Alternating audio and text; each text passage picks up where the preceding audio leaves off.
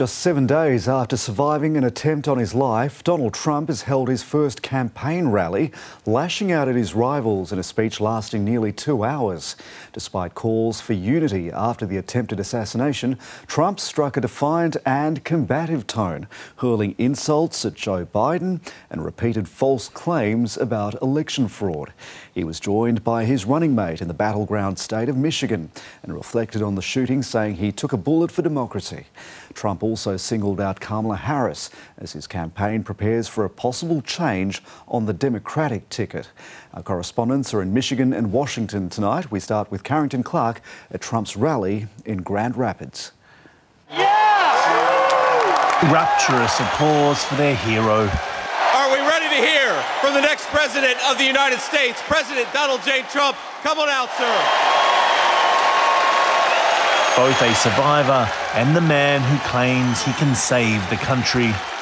They keep saying he's a threat to democracy. I'm saying, what the hell did I do for democracy? Last week I took a bullet for democracy. The Republican nominee, still sporting a bandage on his ear from his injury, was in a combative mood, taking a swing at the Democrats, asking supporters who they'd like to see run against him for the top job. So, who would you like to most run against if you're us, if we want to win? Ready? Kamala Harris. Crooked Joe Biden.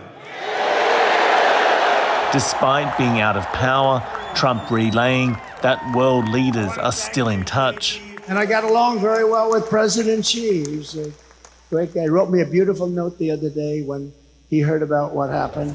Trump's rallies have been a campaign hallmark since he first ran back in the 2016 cycle. And what was clear today is that his near assassination has only increased his mystique and appeal with his most fervent supporters. These rallies are a major electoral advantage for the Republicans, and it's hard to see them giving up that advantage, even with the lingering security concerns.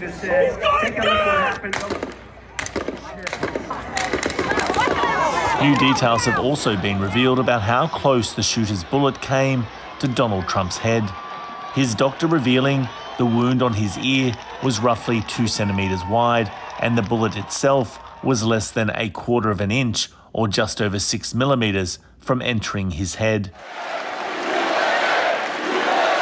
For the true believers, it was a vintage performance. He saw his life pass before his eyes, right? So wants to bring the people together. The train is off the tracks, and we need to get this country straightened out. And we will make America great again. But for Donald Trump to win in November, he's going to have to convince more than just his rusted on fans that he deserves another four years. Carrington Clark, ABC News, Grand Rapids, Michigan. As Trump's campaign gains momentum, the man who's currently in the Oval Office is facing ever growing calls to stand down. Despite a week of campaign stops, interviews, and insistence by Joe Biden that he will still be running, his doubters remain unconvinced. Pass the torch! Pass the torch! Pass the torch! A small but growing chorus that's fast gaining momentum. We are here today to ask, to beg, to tell President Biden that it is time to pass the torch. A grassroots political movement calling for change at the top of the Democratic Party ticket for president. This is an existential election, right? That's not just a talking point. That that is real. Um, democracy is on the ballot. It's nothing against him. I, I support everything that he's done in his four years. Uh, but it's just become very evident that he cannot lead this party anymore. Mr. President, how do you feel? More than 10% of the Democratic Party caucus has now called for the president to stand aside. The machinations over his political future playing out in public as he isolates with COVID 19.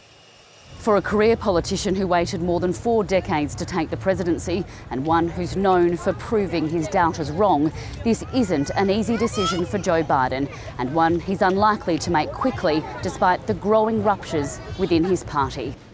The president is angry. He feels abandoned. The word abandoned was used several times uh, in discussions I've had with people in the White House. If President Biden decides to step back, we have Vice President Kamala Harris, uh, who is ready to step up, to unite the party, to take on Donald Trump, and to win in November. Thank you, Joe. It's time to go. Hey, hey.